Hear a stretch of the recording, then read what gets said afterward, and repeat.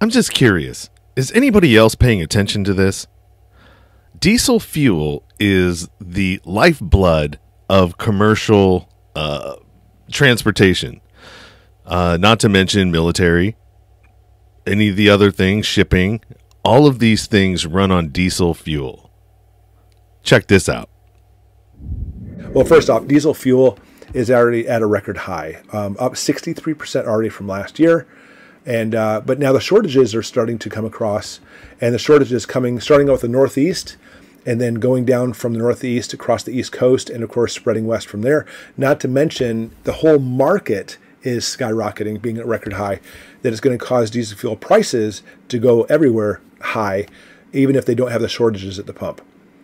Um, part of this comes from the fact that Ukraine is sucking up so much diesel as Joe Biden tapped into our strategic reserves and sends it to Ukraine. It's already causing a shortage in the first place. If you didn't know, military equipment uses diesel gasoline, period. And that's all there is to it.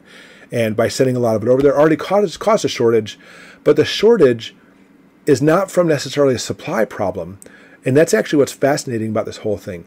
The, the supply is there but it's the refining that's the problem.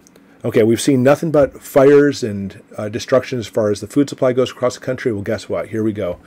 On the East Coast, and granted, it was a couple years ago, um, there was a refinery fire. It was East Coast's largest refinery, caught on fire, burned down, and completely stopped production. Philadelphia Energy Solutions. And because of this, it took it it took our refining capacity from 1.6 million barrels to only 800,000 barrels. It cut it in half. And now we're finally seeing the tail end of this catastrophe hitting the United States, combined with sending our diesel to the war in Ukraine.